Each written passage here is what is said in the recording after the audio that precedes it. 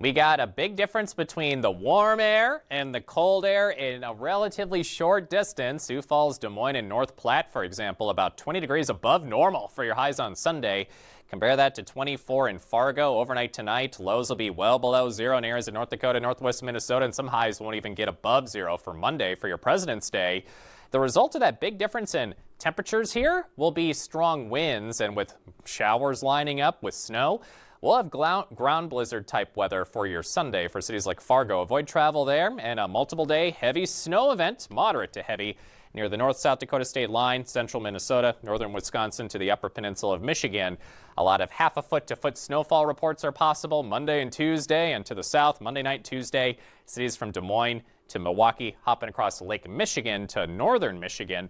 We'll have to watch out for some freezing rain accumulation. Today we'll have uh, anywhere from a trace to a couple inches of snow, northern Minnesota to far northern areas of the UP.